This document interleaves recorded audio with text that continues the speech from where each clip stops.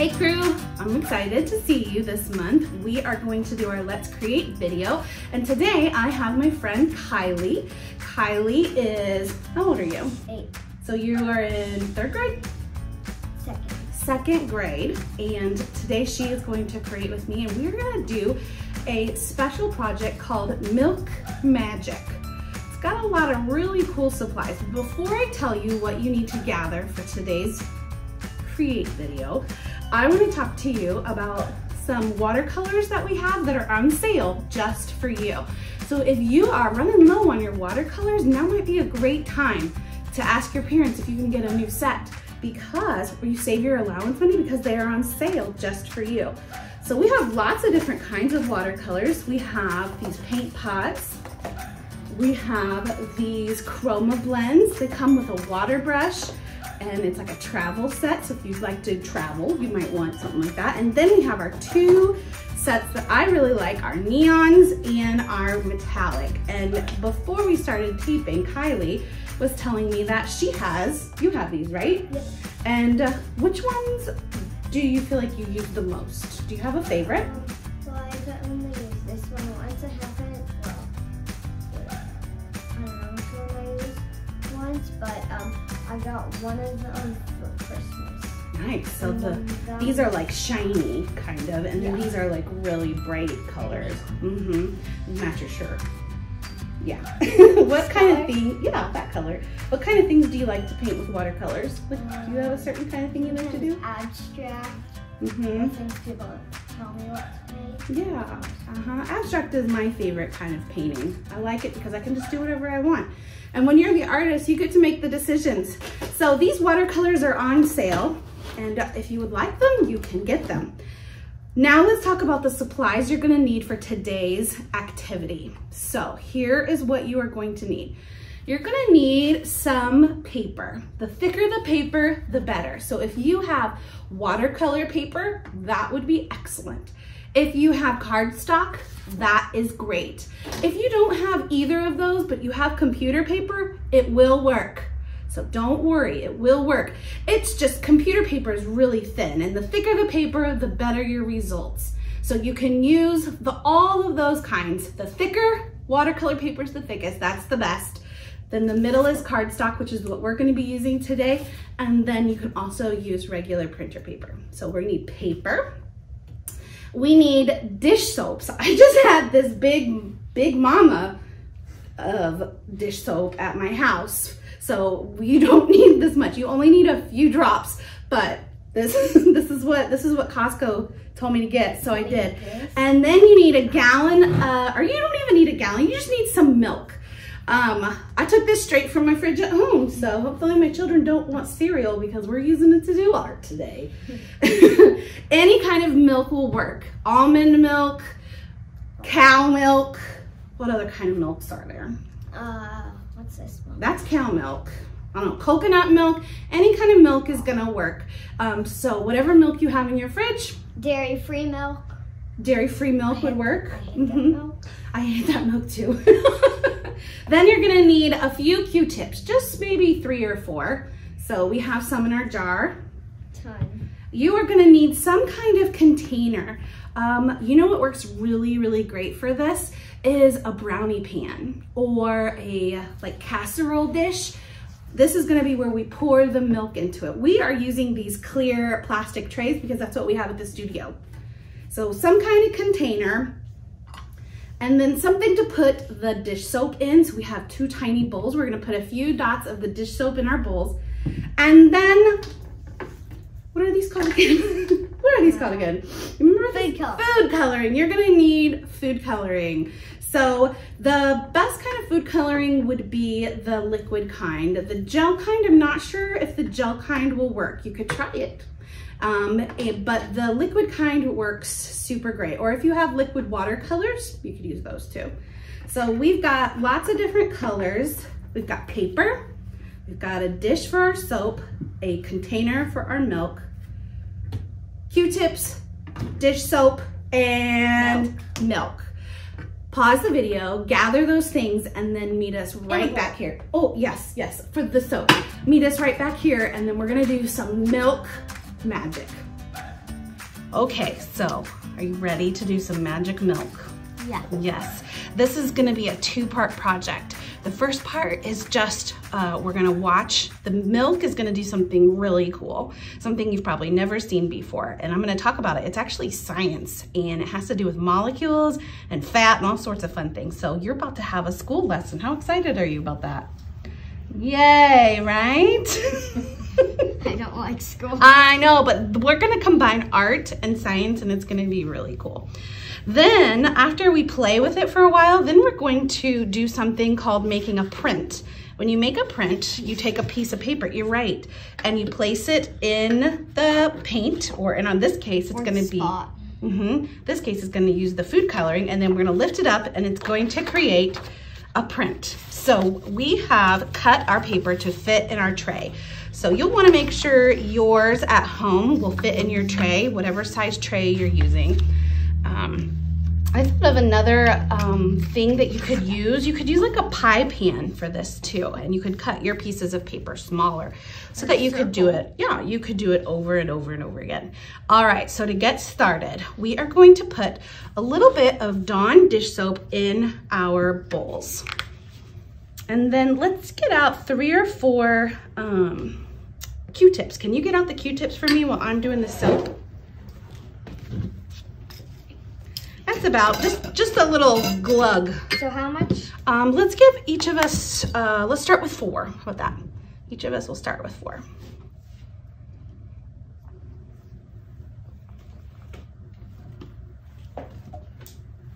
Perfect. Thank you. So I'm going to set these aside and we're going to use this dish soap. It's going to do a really cool thing. Now what we need to do is we need to fill our tray with milk. It just needs to be a real thin layer. We don't need to use a whole bunch. I this one this one's brand new. Um, so I'm gonna open it up and I'm gonna pour in some milk for you. If you are doing this um, by yourself, you probably are gonna want an adult to help you pour this milk because I don't know about you, but spilling milk is like the worst. So I'm just gonna pour, there we go, some for you and some for me. You put the lid back on because, What if you ran out of milk? well, then you would have to wait and try this an, at another time. Yeah. Write down all the stuff. Yes, it doesn't take very much milk.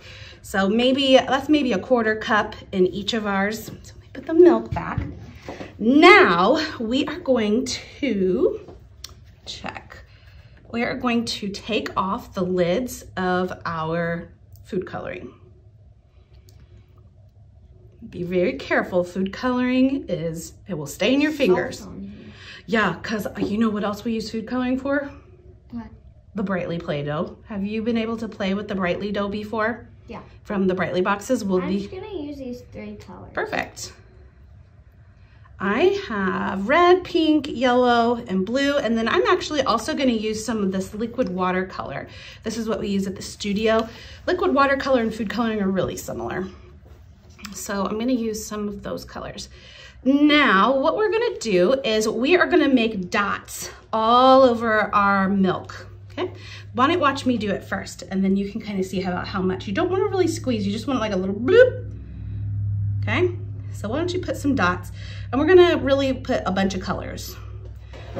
Kind of spread them out. And you can do as many as you want. I'm gonna use some of this, oh yeah, some hot pink. And we'll do this a couple times, Kylie. It's fun to do this activity over and over again. Do some yellow. You can even overlap your colors if you want. You, that will, of course, make a new color. When two colors mix together, they blend. What color are you using right now? Red. Red. I can see blue. What's that dark color that you put in there? Purple. Purple. Oh. Um, can I try that color? Oh, of course. Yeah. You don't even really need to squeeze. It just needs a little drop.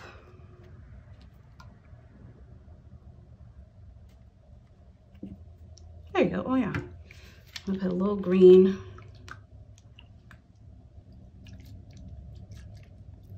Okay. Um, All right. Now, Are you ready for the magic? Yeah. The magic. Drum roll. Okay, we're gonna take, this is how we are gonna make this magic. I'm gonna, we're gonna just do it first and then I'm gonna explain how it happens, okay? Because it's science and science is cool. We're gonna dip in the Q-tip in the dish soap and swirl it around so that it's covered in soap. Now, when you take your Q-tip, you are gonna lightly touch the little sections of the color. Not yet, not yet. Oh, oh, oh, isn't that so cool? That is what we call the milk magic. Just touch each one and then move it around. Don't swirl. Yes, there you go. Oh my gosh. I just wanna watch yours first. Very cool. Now, if it does, if you touch one color and it doesn't explode, then turn it over and do the other, dip it into the soap and then touch a new color. This is a chemical reaction. And so, and once a chemical reaction is done, it's done. So it doesn't do it over, it doesn't repeat. All right, here goes mine. It kind of looks like a volcano. Ooh. Oh my gosh, look at that. It's like a color tornado. Are we only gonna use one? We can use more. Yeah, no, we can use more. I'm just gonna, that turquoise, there's the pink. My pink got like pushed to the edge. I'm trying to find a spot where I didn't do it. You don't wanna swish around because what will happen then is all the colors will mix together. Um, and so we wanna keep the colors separate because we're gonna dip our paper in here, Well, we're mixing right now, kind of. They are, but they're not becoming one color. You can see each color still separately. I'm gonna try to do this side. You can pick up the colors too. Yeah. I poked one and then it came on here. It's cool. Mm-hmm. You can kind of use your Q-tip to push your colors a little bit. Like if I have so much yellow, I want to kind of move my colors around because I have all those fun colors. I want to get them in the middle, so I'm kind of pushing it. Oh!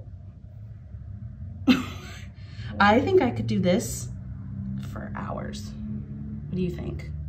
Oh, I like how you made those lines. That's so cool.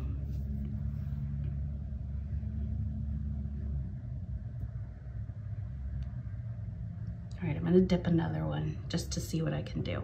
Once you get your milk, when you're like, I think I'm done, I'm done I doing. And then you're, just wait, because I'm gonna explain why this happens, and then we'll make our print. We've got two Q-tips left. Yeah, I think mine, mine's not really doing the magic anymore, which means the chemical reaction is over. Mine's still going. Yeah, that one is really going. All right, so the reason that this happens is everything in the world is created, uh, is made up of molecules. Have you learned about molecules in school? Okay, well, molecules are like super tiny and you can't see them, but everything's made up of them, all right?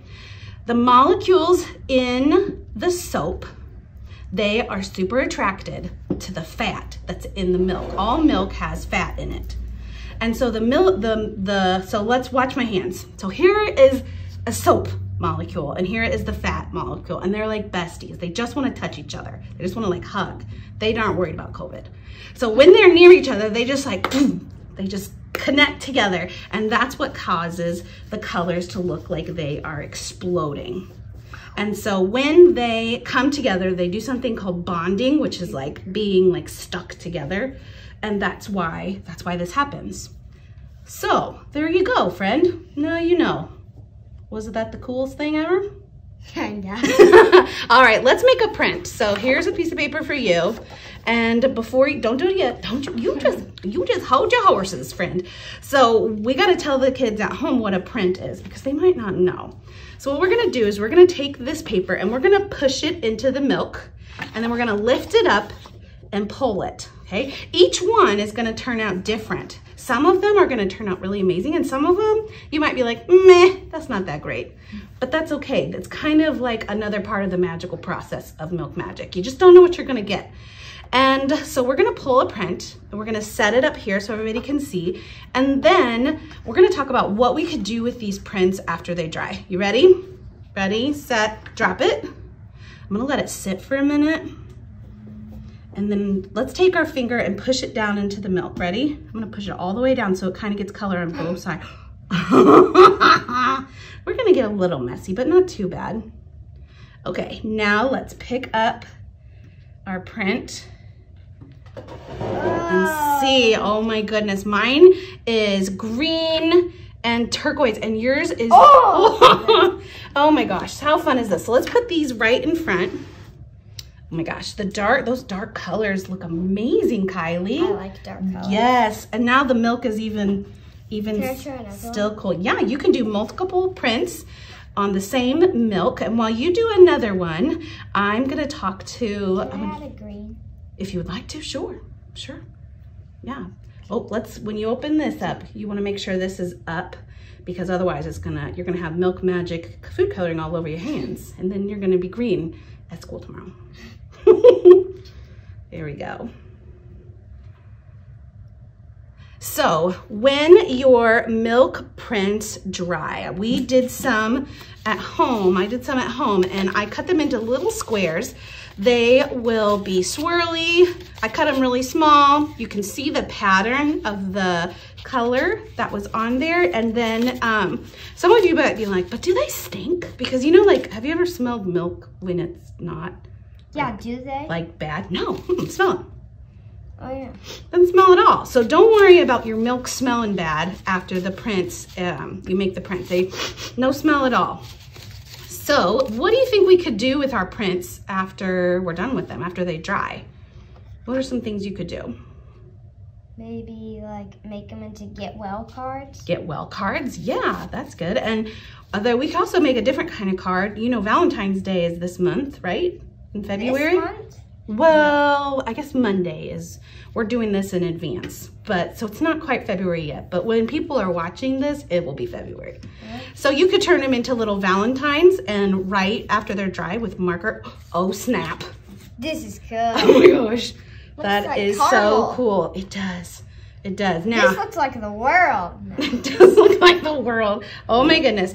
You know what? Purple world. Let's stop here. When we turn the video off, me and you, we're gonna do some more because we got a lot more milk and we got a lot more colors. But we're gonna stop it here because now would be the time for our friends It's and moving. crew. Still going. Yours is like extra fancy. Extra. What is, do you remember what happens? Why it is doing all that? Because of the chemical reaction. Yeah, the molecules, they're like giving each other hugs. They're so happy. Fat and then the soap molecule. And they're just like fist bumping, having a party in the milk on the tray in the studio. and in the pan. and in the pan. So we can do this as many times as we want, but I would suggest when your milk starts to look a little, what color would you call this? Uh, cool.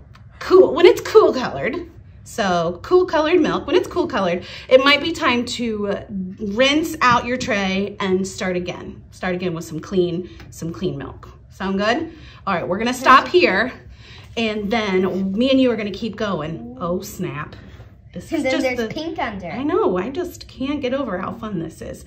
Okay, all right, let's go. Let's trade out our milk and do it again. So that was rad. Probably the coolest thing I've done in like six months. What do you think? I don't. You don't know? Because I've, I've done cool things too, but Yeah. this is probably one of the cool. One of the coolest things. So I can't wait to see what you guys make at home in your magic milk prints. Um, we made a lot. After we were done, we made some more. So we wanted to show you our favorites. We each picked out one that we loved a whole lot and we would love to show it to you. Would you like to go first or would you like me to go first? I'll go first. All right, Kylie's up first. Um, I did this one. It's all with all the colors I had. hmm And as it dries, it starts to look even, it looks more and more different as Yeah. the colors start to dry. And I picked one of Kylie's that I liked the best. and this one that has a lot of yellows and oranges on it is my favorite. So something fun to do with these would be to write on them after they're dry, make them into a Valentine, a card, um, mail them to people, drop them in people's mailboxes. You could do so many things. You could even cut it up into lots of little pieces and glue it onto a plain piece of paper. Oh, you like make a What is it called? cloth. Yes, a collage. Yes, awesome. You can always change your artwork and make it into new things. Thanks for making these milk prints with us. They're so fun. We can't wait to see them. Remember, you can post pictures in our Facebook group. We would love to see them, right, Kylie? Yeah. Also, did you guys check out her apron? Did you notice? It's a Brightly Crew apron. Yeah, Those are coming so soon. You can get your very own Brightly Crew apron so that your clothes stay perfectly protected while you're creating at home. Bye guys.